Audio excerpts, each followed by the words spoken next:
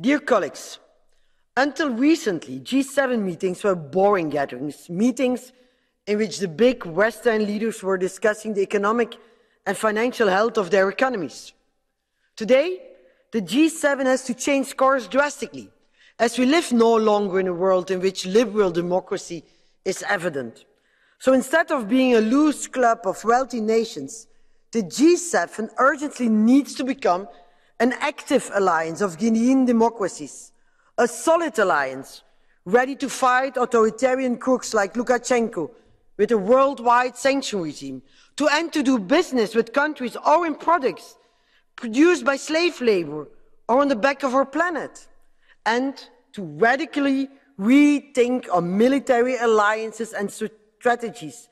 Even for the new Biden administration, a European army and a UN defense union are not longer taboo. Let us show courage, ambition and vision in this G7.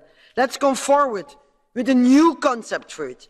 A G7 in defense of our values and our freedoms. A G7 willing to fight for it. Thank you very much.